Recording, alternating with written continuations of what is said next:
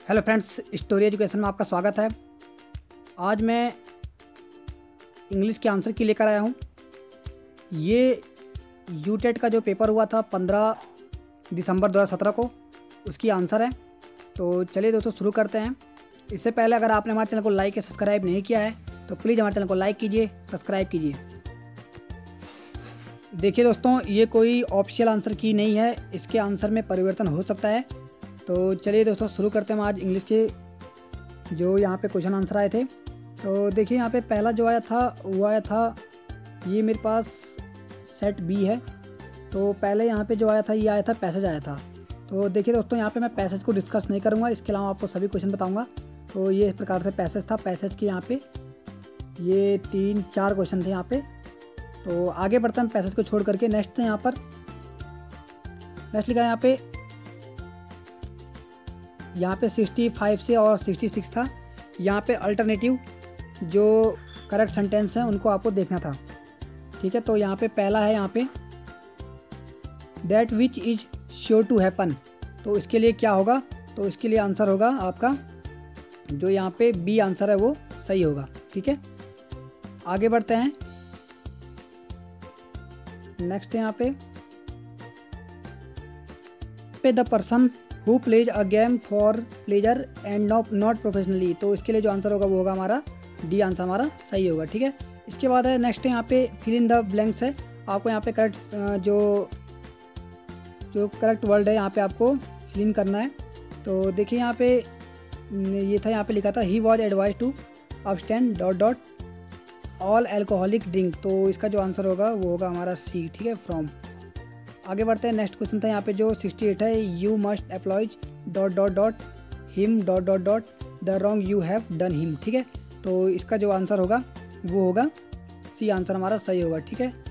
यहाँ पे आएगा आपका यू है you must apologise to him और यहाँ पे आएगा for the wrong have done him ठीक है? तो यहाँ पे जो सी आंसर था वो हमारा सही होगा। आगे बढ़ते हैं। नेक्स्ट यहाँ पे 69 और 17 जो क्वेश्चन है जो यहाँ पे अंडरलाइन किया गया है आइटम्स ठीक है? इनको आपको बताना है करेक्ट इनका मीनिंग बताना है। तो देखिए यहाँ पे जो 69 है, यहाँ पे दिया गया है we kept our finger crossed till the final result were declare ठीक है? तो इसका जो आंसर होगा, वो होगा हमारा ए आंसर सही होगा। ठीक है? आगे बढ़ते हैं। पिलर टू पोस्ट ठीक है? तो इसका जो आंसर होगा, इसका आंसर होगा ए सही होगा। ठीक है? One place to another place one place to another, ठीक है? आगे बढ़ते हैं। नेक्स्ट आपको यहाँ पे ईरर्स आपको देखना था। 71 से 72 जो क्वेश्चन है, इसमें आपको ईरर्स फाइंड करना है। तो यहाँ पे दिया गया है neither I nor my secretary ठीक है, ये ए दिया गया था ऑप्शन बी है यहाँ पे वर इन्फॉर्म और सी दिया गया था ऑफ़ द कैंसिलेशन और जो यहाँ पे डी दिया गया था ऑफ़ द मीटिंग तो इसका जो जो यहाँ पे अगर हम देखें तो जो ईरर होगा, वो होगा यहाँ पे ठीक है, वर इन्फॉर्म यहाँ पे वर की जगह पे वॉज़ होना चाहिए, ठीक है? नाइदर और नाइदर आई नॉट ठीक है? तो यहाँ पे वॉज़ होना चाहिए। तो यहाँ पे जो बी है हमारा, ये हमारा सही है। नेक्स्ट है यहाँ पे it is one of those book ठीक है? ए दिया गया था बी दिया गया था विच हैज़ बीन रिकमेंडेड और सी दिया गया था यहाँ पे for specialist in skin disease तो यहाँ पे जो इसका आंसर होगा, वो हमारा जो यहाँ पे जो बी वाला है, ठीक है? यहाँ पे विच हैज़ की जगह विच हैव होना चाहिए था। तो यहाँ पे बी ऑप्शन हमारा सही है, ठीक है? यहाँ पे ईयर है। नेक्स्ट है यहाँ पे 73 से जो 74 है, इसमें जो अंडरलाइन पार्ट है, ठीक है? यहाँ पे आपको करेक्ट सेंटेंस रिप्लेस करना था। तो यहाँ पे 73 है। Because of his mastery in in this field his suggestion are wild accepted ठीक है? तो इसका जो आंसर होगा, इसका आंसर होगा बी आंसर इसका सही होगा, ठीक है? हैव वाइडली एक्सेप्टेड आगे बढ़ते हैं नेक्स्ट क्वेश्चन जो यहाँ पर था। नेक्स्ट यहाँ पे था no sooner he had return home then his mother felt happy ठीक है तो इसका जो आंसर होगा, इसका आंसर होगा, जो सी आंसर है वो सही होगा। Did he return home then ठीक है तो यहाँ पे जो सी ऑप्शन है वो हमारा सही है। आगे बढ़ते हैं। नेक्स्ट क्वेश्चन था यहाँ पे choose the world nearest meaning in the underline ठीक है तो देखिए यहाँ पे जो सेवेंटी फाइव है तो यहाँ पे दिया गया था he was trying to put across the ideas to his audience ठीक है? तो इसका आंसर होगा ए आंसर सही होगा, ठीक है? टू कन्वे आगे बढ़ते हैं नेक्स्ट है यहाँ पे। He is believe to be a very industrious worker ठीक है? तो इसका जो आंसर होगा, वो होगा डिलीजेंट ठीक है? डी ऑप्शन हमारा सही होगा। आगे बढ़ते हैं। नेक्स्ट है यहाँ पे choose the world opposite in the meaning underline word in the sentence ठीक है? आपको यहाँ पे अपोजिट देखना है। तो जो सेवेंटी सेवन है यहाँ पे, इसका था यहाँ पे देखिए। ये दिया गया the criminal was detained by the police तो इसका जो आंसर होगा, वो होगा आपका बी ठीक है? रिलीज़ आगे बढ़ते हैं। सेवेंटी एट क्वेश्चन था यहाँ पे it is obligatory for the common citizen to follow the rules ठीक है? तो इसका जो आंसर होगा, इसका आंसर होगा, यहाँ पे जो सी आंसर है वो हमारा सही होगा, ठीक है? आगे बढ़ते हैं। नेक्स्ट यहाँ पे फिल इन द ब्लैंक फिर से आपको फिल इन द ब्लैंक्स यहाँ पर करना था आपको। ठीक है तो देखिए जो यहाँ पे जो सेवेंटी नाइन है तो इसका जो, इसका सही आंसर होगा सेवेंटी नाइन का वो होगा सी क्लोजली और नियर ठीक है? आगे बढ़ते हैं। नेक्स्ट है यहाँ पे नेक्स्ट क्वेश्चन था, यहाँ पे ये भी फिल इन द ब्लैंक्स का है।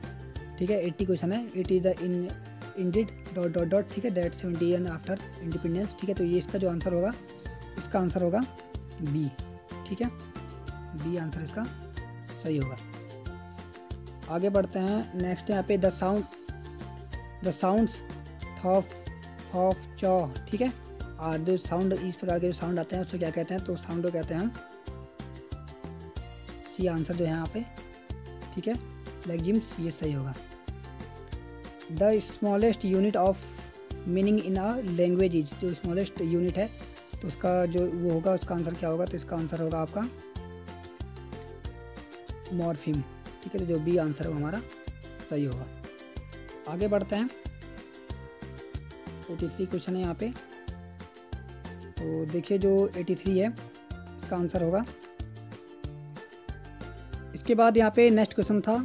एटी थ्री क्वेश्चन है यहाँ पे what kind of year in the common between a learner who is the who is learning his mother mother tongues ठीक है? And the learner who learn the same language as second language ठीक है? तो देखिए, आपको यहाँ पे बताना था, इसमें एरर बताना था, ठीक है? तो इसमें क्या कॉमन एरर होता है?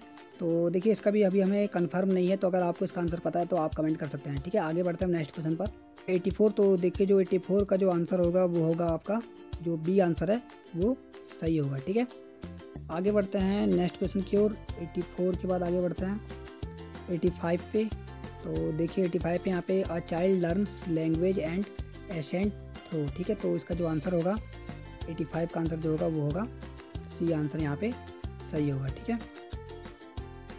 और इसके बाद देखिए दोस्तों, इसके बाद फिर से पैसेज है। पैसेज को मैं यहाँ पे छोड़ रहा हूँ, ठीक है? 86 से 89 तीन क्वेश्चन यहाँ पे जो हैं, वो पैसेज के हैं। तो पैसेज का मैं छोड़ रहा हूँ 89 से। फिर जो लास्ट हमारा क्वेश्चन है, यहाँ पे लिखा है लास्ट क्वेश्चन है यहाँ पे a disorder related to language compression is तो इसका जो आंसर होगा, ये होगा ए एप्रेक्सिया ठीक है? तो देखिए दोस्तों, इस प्रकार से आज हमने इंग्लिश के क्वेश्चन आंसर सॉल्व किए। आपको हमारी वीडियो कैसी लगी, इसके लिए प्लीज़ लाइक कीजिए कमेंट कीजिए और शेयर कीजिए।